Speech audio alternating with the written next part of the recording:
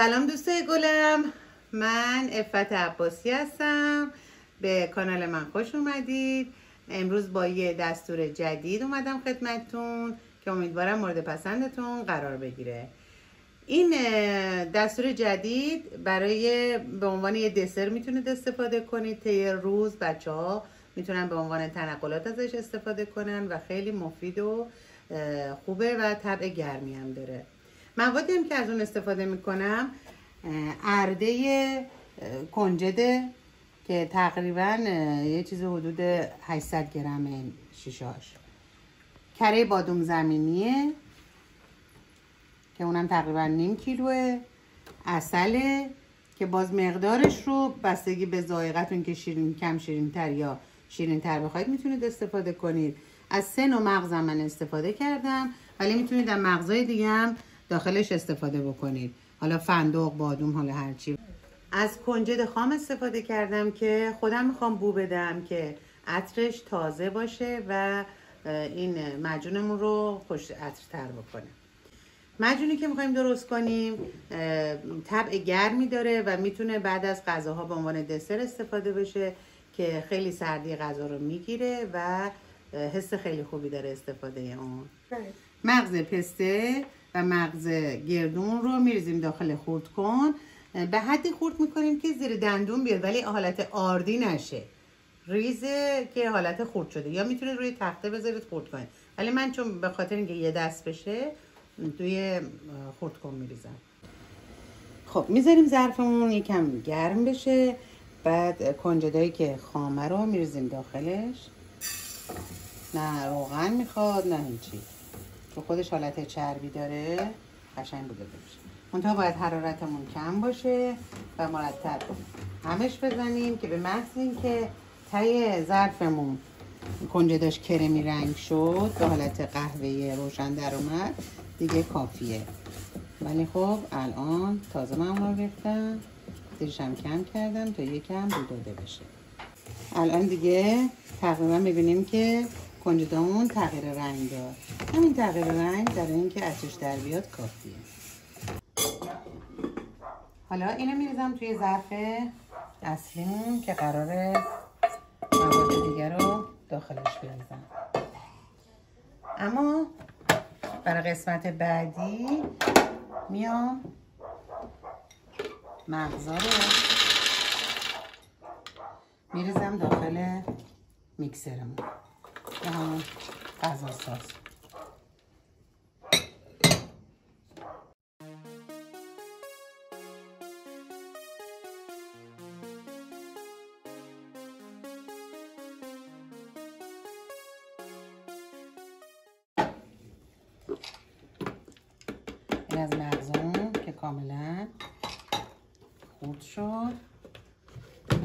تکه هاش همچین یه کوچولو دندونگیر باشه که مزهش رو کاملا بتونید توی این مجون احساس کنید حالا این رو هم اضافه می‌کنم به کنجدامون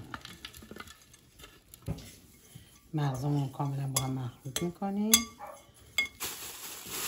خب دوستان من فراموش کردم بهتون بگم.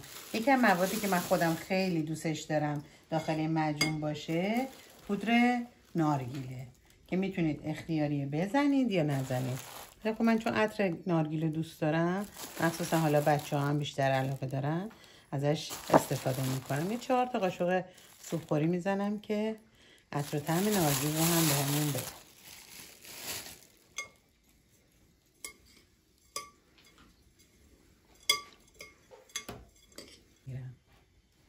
حالا اردمون رو بهش اضافه می‌کنیم.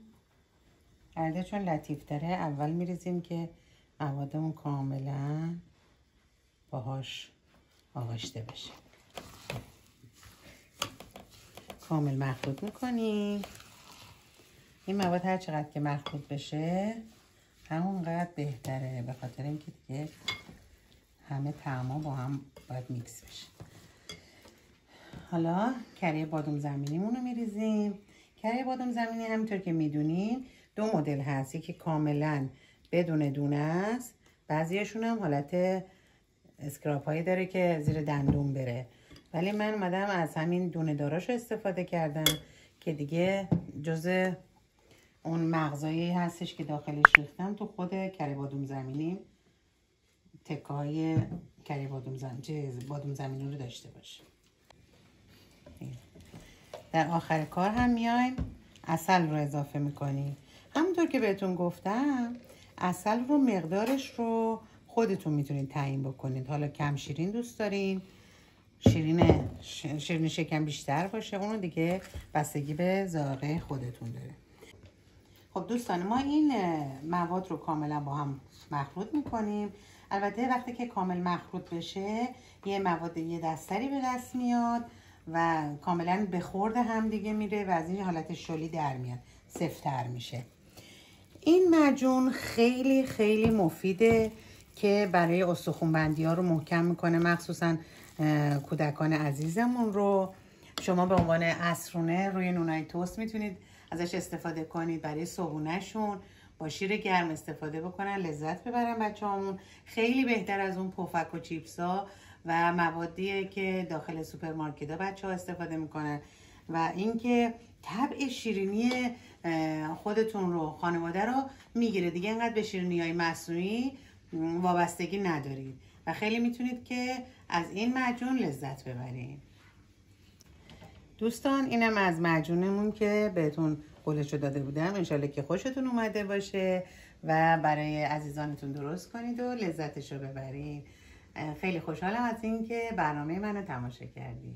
دوستتون دارم.